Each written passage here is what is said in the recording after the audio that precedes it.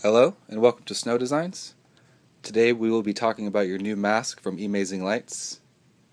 Each mask uses 9 feet of EL wire and is powered by a 2 AA battery power inverter that has three separate modes. To turn on your mask, simply press the button located here. The first mode is solid on. Your second mode is slow strobe. And your last mode is fast strobe. Make sure that when you are turning on your mask that you are plugged in.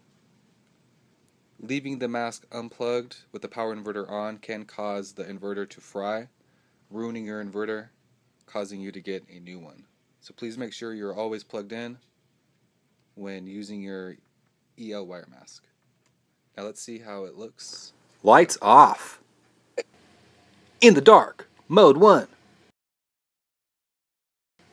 In the dark, Mode 2. In the dark. Mode 3. In the dark. Mode off. Lights uh. on. Alright, so there it is. EL wire mask from Snow Designs and Emazing Lights. If you have any questions, please feel free to email me at snowdesigns at ymail.com.